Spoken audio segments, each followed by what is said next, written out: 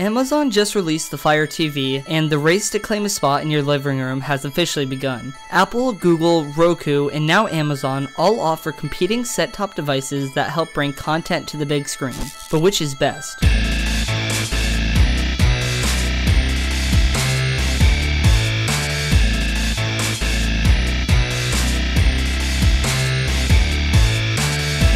Let's start off with specs so we can see what we're working with.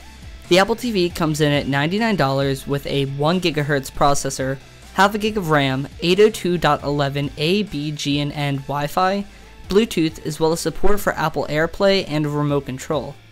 The Roku 3 is also $99 with a dual-core Broadcom A9 processor, half a gigabyte of RAM, 802.11a, b, g, and n support, a microSD expansion slot, and a motion controller.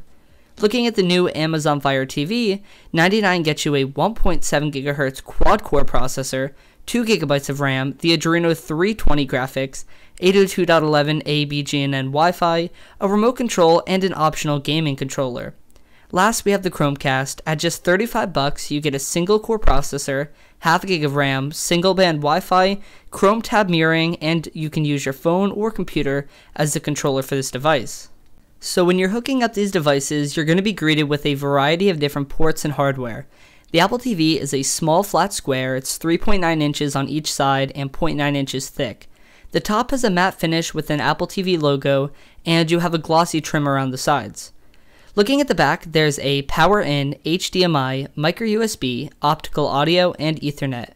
The device is really tiny, but the glossy border definitely collects dust. The remote screams minimalism. It's just kind of a small slab of aluminum with a few buttons for media control. Looking at the Roku 3, it has a bit more playful look to it. The sides are 3.5 inches and it's 1 inch thick. The device itself feels pretty cheap and it's not as solid as the Fire or Apple TV, but then again, the device is not meant to be held. It also has these curved sides and a purple Roku logo protruding out the side.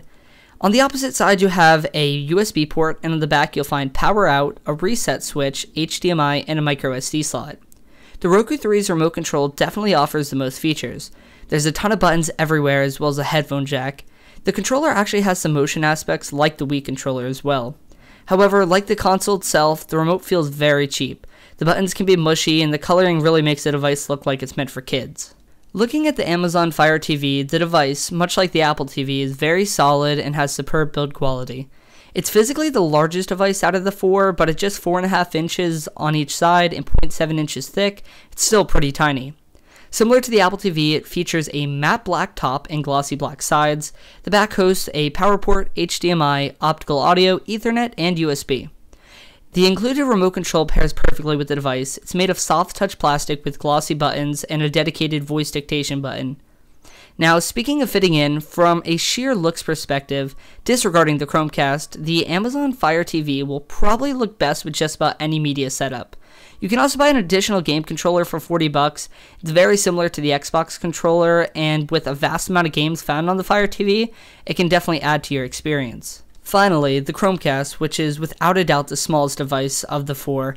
Its design is based off that of a flash drive. It's 2.8 inches long and 1.3 inches wide. Feels like a piece of plastic, but then again, it does live behind your TV. There's a micro USB port on the Chromecast which serves as your main source of power.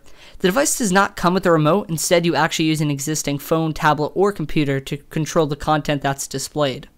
So let's take a look at some of the software that's among these devices. Starting off with the Apple TV, the interface very much looks outdated.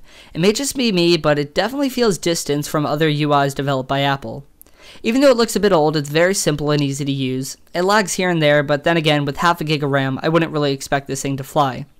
You're granted full access to the iTunes, incredible amount of media, and you also have Netflix, Hulu, HBO Go, and YouTube. I think one of the more interesting features on the Apple TV is AirPlay mirroring, meaning if you have a Mac, iPhone, or iPad, you can actually send your display to the big screen. I personally found this feature pretty cool. It did kind of tend to wear down over time, but then again, I don't own a Mac, so I could really only use this with my iPhone. However, there's no game support, and Amazon Instant support's not there, as well as Showtime or Pandora. Shifting over to the Roku, the interface is much more lively. Everything looks clean, and overall, it's a very snappy and enjoyable experience. Similar to the Apple TV, you have access to Netflix, Hulu, and YouTube. However, with the Roku TV, you have the addition of Amazon Instant Video, Showtime, and Pandora. Also, with the Roku, you have a full library of games, including popular titles like Angry Birds. The addition of games, well, the Roku does not try to compete with the game console, makes the device much more versatile. And with the addition of the motion controller, you can really get into the games you're playing. The controller also has a very unique feature, the headphone jack. If you're up late at night and don't want to bother your partner, you can just plug in a set of headphones and listen through the remote. However, the Roku is not perfect, it is slow at its moments, and search can take some time.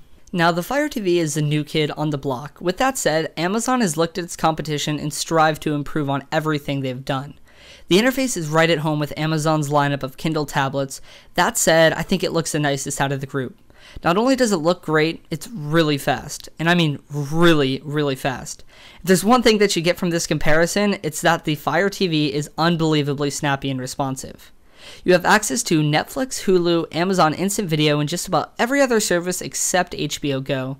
Amazon has also included a very efficient voice control feature. You can search for movies, games, shows, and even actors to find movies they've been in. It all works pretty well, and you also have access to an expanding game library.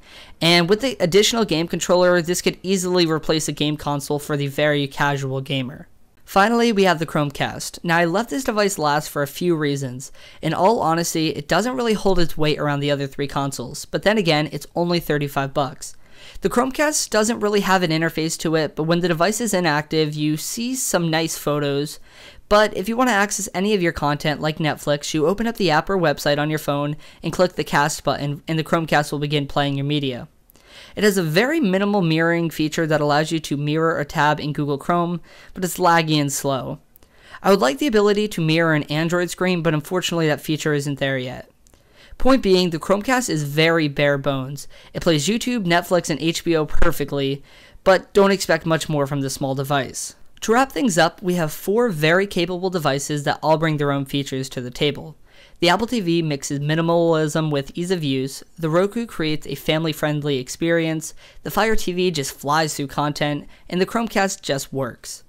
But if I was going to spend my money, $99 would without a doubt go to the Fire TV. It's clear that Amazon fixed a lot of the problems that other devices have, and did I mention how fast it was?